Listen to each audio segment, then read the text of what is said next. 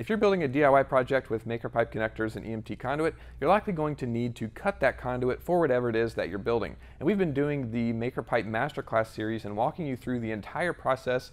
Uh, we've talked about what EMT conduit is, what the connectors are, and we're going through the whole process of building. And this is a big part of that process. And I wanted to dedicate a whole video to the process of making a cut list so that you could get some more information and making sure that you're getting accurate cuts and measurements in your builds. There's really three main things that you want to keep in mind, and we can really highlight that, or one of them, with the MakerPipe T connector, because this one highlights two of the connections that you're going to see really often in uh, whatever connector it is that you're using.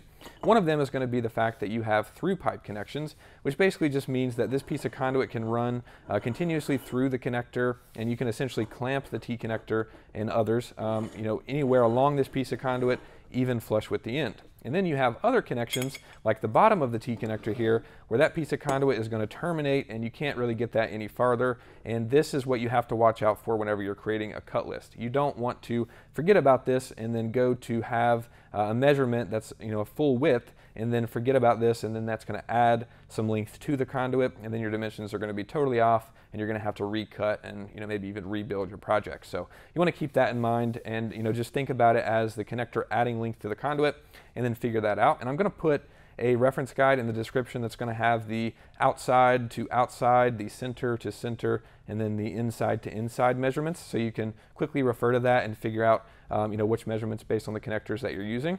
And uh, you know, that's just something to keep in mind. Probably the most important thing whenever you're making a cut list. Another thing too is you'll see with other connectors like the MakerPipe 180 degree connector, where you're going to have three pieces of EMT conduit. You're going to have one in the middle and then one on the outside. And just like with the T connector we looked at, you're going to have uh, this gap here that needs to be there so that the uh, bolts can go through the connector and you know securely clamp it around the EMT conduit. And so that's going to add some length to your build. And again, just refer to that guide to see all the different measurements for the different sizes and the different connectors.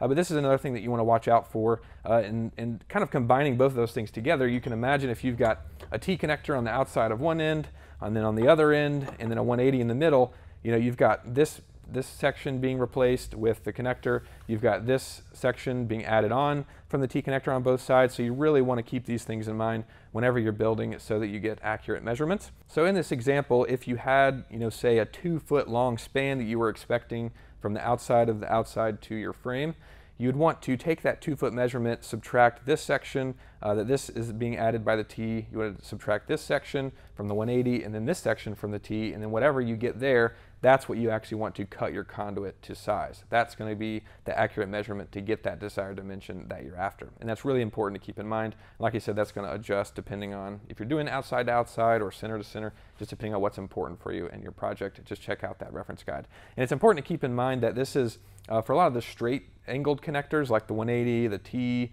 the 90, but you're also going to run into uh, cuts that you're going to need to make for other things like the 45 degree connector that I've got here.